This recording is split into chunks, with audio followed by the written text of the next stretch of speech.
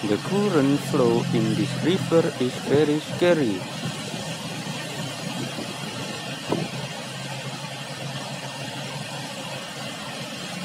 This river is a river with a very fast current.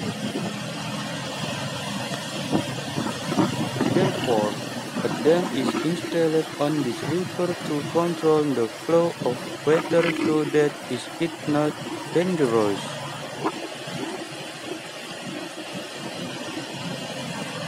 This river is located in one of the districts in Indonesia.